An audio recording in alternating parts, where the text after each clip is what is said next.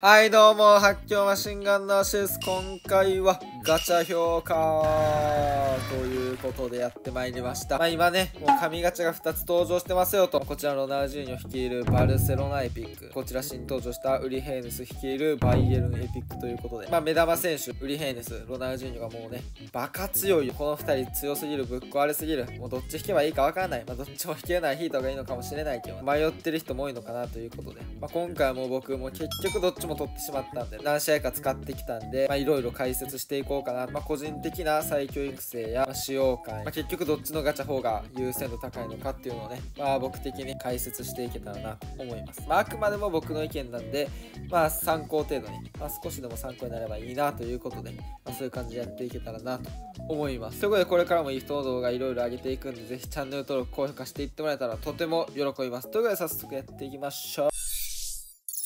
ということで、まあ、ロナウジーニョとヘネス。今はこんな感じのポジションで使ってますよと。まあ、まずはロナウジーニョ。まあ、ロナウジーニョ方が使ってるんでね。お、63試合？えそんな使った ?63 試合14ゴール、12アシストと。まあ、ちょっとまあ、ゴールアシストに関してはどうやろう。そんな伸びてるわけじゃないかもしれない。一旦置いといて、そこは。今、ロナウジーニョブースタークラフトでシュートプラス1つけましたね。ボルコン決定力、キック力、フィジカル上がるんで、これちょうどいいですね。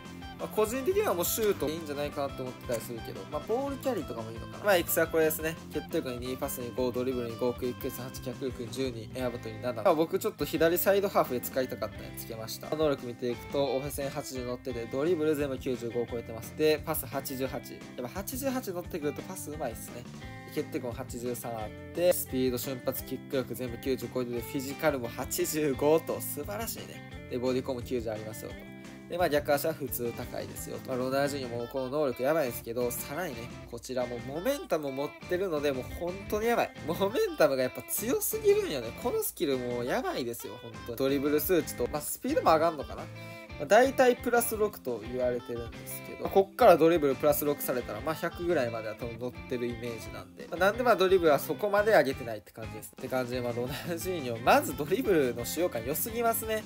もうどんなドリブルしても、まあ、フィネスドリブルしても綺麗いいし、特殊ダブタのキレもいいし、ここに安いし、普通に速いしみたいなめちゃくちゃ良くて、で、パスうまいのがやっぱいいかな。うん、88乗ってるとやっぱパスめっちゃうまくて。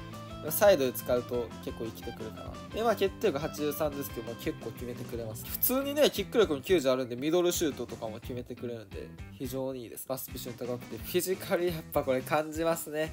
今の環境特にね、なんか勝手にフィジカルの見せ合いっていうのが、もう急にね、相手のディフェンダーとなんか競り合うっていうのがそういう場面多いんでね。まあ、そこでしっかりフィジカル見せてくれるんで、マジで取られにくいですね。ボール取られにくいんで、まあ、誰でももうドリブルしやすいんじゃないかなと。で、まあ逆足もまあ普通高いですけど、全然悪くない。で、まあスキル的には特殊ダウタできて、根幹もできるって感じで。で、まあスキル追加。まあここまでするとやっぱ強いですね。ミドル、ワンパス、ルパ。まあ、とつけたいので言うと何やろうね。まあでも大体ここら辺つけとけば十分なんじゃないかなって感じで。もうロナウジーニはもう評価めちゃくちゃ高い。さすがにこのレベルの選手は当分スカットに残るんじゃないですか。この能力でモメンタム付きっていうのは、すがにこやんでしょ。さすがにこやんと思う当分。僕的には全然ねもう取ってもいい必須級と言ってもいい。それぐらい強いです。ロナウジーニョに並ぶ選手はいないです。もうそれぐらいもう強い。モメンタム持ちでこの能力ってもうほんまにいないと思うんでやっぱモメンタムがそもそも強すぎるんでおかしいでしょ。この能力にモメンタムついてるっていう時点でもういかれてるんで。あの、ナウジーニはもうめちゃくちゃ評価高いです。で、お次、プラテに話していくんですけど、あの、プラテにまで4試合と、まあ、フレまでちょっと使っていきたいんですけど、まあ、ちょ今のとこね、あんまり活かせてないまあ、僕はちなみに9兵列使ってないんですけど、まあ、そこから乗り換えてどうなったのかっていうのもちょっと話していきたいんですけど、まず、ブースタークラフトでテクニックつけました。で、まあね、育成ちょっとね、最初のと変えたんですけど、兵ですね、瞬発上げてからちょっとね、やばいんじゃないかって今思ってて、まあ、クイックネス上げてね、フレマちょっとだけしたところ、あれ、これドリブルしようかめちゃくちゃくちゃ良くねって今なってるんで、ちょっとね、この育成試してほしい。クイックネス上げ育成ね、結構おすすめですね。最初ね、フィジカル90乗るぐらいまでやってたんですけど、別に90乗せなくてもいいなって、それよりクイックネス振った方がいいんじゃないかって感じで、ヘーネス取った方は、ね、ぜひクイックネス上げ育成やってほしいです。でもヘーネスはちょっと微妙なとこっていうのか、まあ、このポジションはね、OMF とウィングしかできない。まあ、ST とかつけれたら、まあいいんじゃないかなと思ったりしてるけど。まあ OMF イングでも十分強い。まあ能力的にはこんな感じで、まあテクニックなんでドリブル全部90乗るようになってて、パスも80ありますね。で、決定力87と高いです。で、まあスピシュン95を超えてて、キック力も88、フィジカル87、ボディコン95、強すぎるね。バカみたいな能力してるでしょ、これ。まあ今回のヘーネスは逆足頻度が高いなってて、まあ精度もそのまま高いですね。まあ、やっぱこの逆足高い高い素晴らしい。で、まあスキル的には足裏コンカブリッツ、ライジングミドルワンシュ、スルーパックミドルス、チェイシング、闘争心と優秀ですね。で、僕はダブルアウトスピンつけたって感じで、まあ、この2つつければね、もう結構強くなるって感じで。まず、ヘーネス、ブリッツカーブについてなんですけど、ブリッツカーブないと思ってください。いらないです、これ。カーブ80のブリッツはね、やっぱ個人的にはあんま使わんかな。いや、わからんじゃ僕の使い方が下手なだけで、全然ブリッツ入るよっていう人もいると思うんですけど、ウリヘネスのブリッツには別にそんな期待しなくていいんじゃないかなって僕は思ってます。持ってるだけで、まあ一応脅威にはなるっていうのが、相手を警戒させれるんで、まあそこはいいのかなって感じで、まあ持ってて損はないですね。まあヘイネス使ってきたんですけど、まあ前のから乗り換えてどうだったのかって感じですけど、今のとこはね、別にまあ前のでも十分良かったなってやっぱ思っちゃうかな。まあ、前のがもう強すぎた、普通に。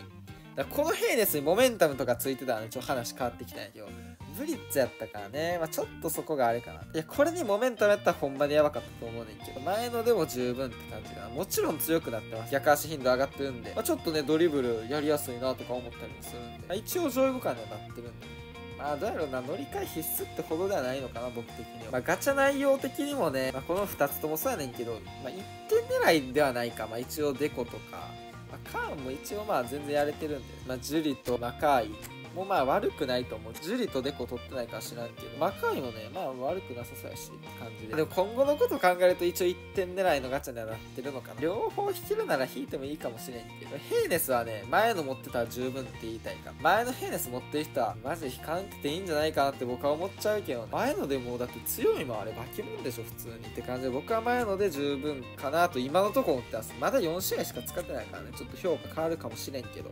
今のところは前のでも十分やで、ロナウジーニョ。もう僕はもうロナウジーニョ虜でございます。もうね、この能力にモメンタムあかんってほんまに。強すぎるもん。いやもうマジでロナウジーニョ取ってほしいね。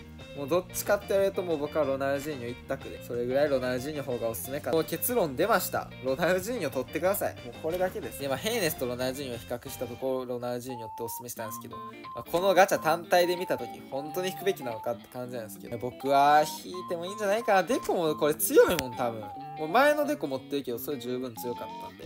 それより強いって考えるとデコもいいし、ロナウジーニョ取る価値あるよ、これ。去年でいうリベリガチャ的な感じなんじゃない？リベリの時って多分ドログバベルカンペやったやん。だからそういう感じで、まあ、リベリその後もずっと残ってたと思うんですけど、えロナウジーニョもいいところ2025の間は、さすがにいるでしょ。ホルコール選手出てきたら、どういう、どうなる？いい人。モメンタムついてるこの能力はもうさすがになかなか出ないと思うんで。